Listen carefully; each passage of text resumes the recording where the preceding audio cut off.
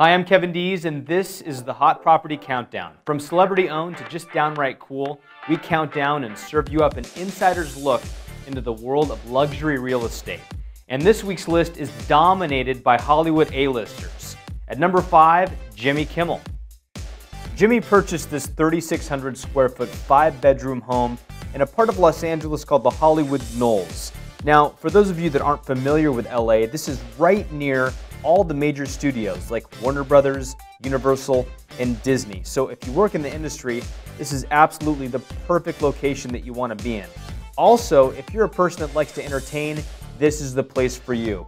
It's got a built-in beer dispenser, a smoker, a pizza oven, a pool, an in-ground hot tub, and not to mention a screening room and recording studio. It's a great house, list price $2.99 million.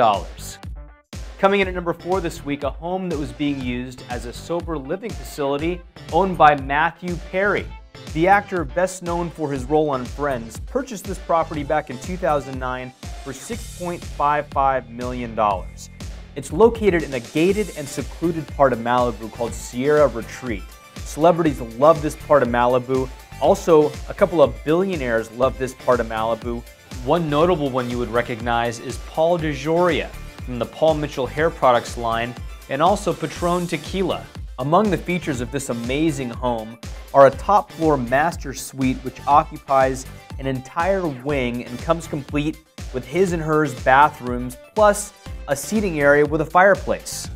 The list price for this amazing property, $12.5 million. At number three this week, a home I'm pretty sure Taylor Swift visited a couple of times, owned by Jake Gyllenhaal. Jake purchased this home back in 2005 for $2.5 million. It's located in a part of LA I like to refer to as Celebrity Row. Everybody from Zac Efron to Tim Allen love this part of Hollywood because it's very secluded. It's up off of Mulholland Drive. Now, this particular home offers amazing views of the city and is also very close to all the studios when you've got an early call time.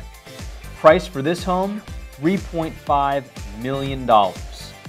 Number two this week, I think he's going by either Diddy or, no, yeah, it's right, that's Puff Daddy this week. This is in Holmby Hills, California. It's been well known in the high-end LA broker community that P. Diddy, Puff Daddy, or AKA Sean Combs has been looking for a new place to call home in LA for years. Well, he's finally found it, and it's only set him back $39 million. Now, what's even crazier is the guy that purchased this property paid $13.7 million for it back in May of 2012.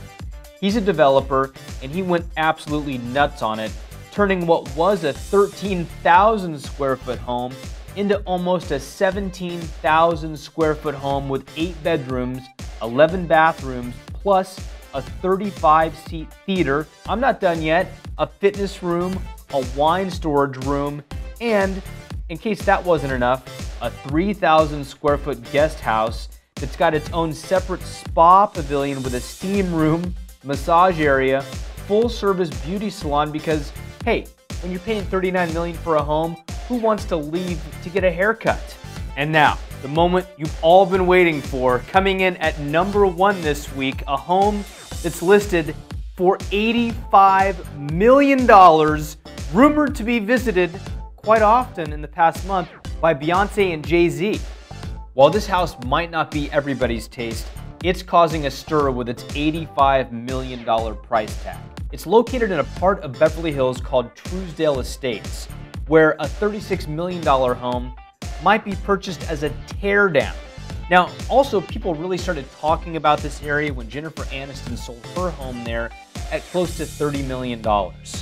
Some of the notable features of this 23,500 square foot home that Beyonce and Jay Z just might be calling home include 8 bedrooms, 15 bathrooms, walls of glass, marble floors, formal living and dining rooms, a family room with wet bar, gourmet kitchen, recreation room with huge wet bar, underground garage slash storage room, candy room, wine cellar, gym, home theater, infinity edge swimming pool, and so much more if that weren't enough.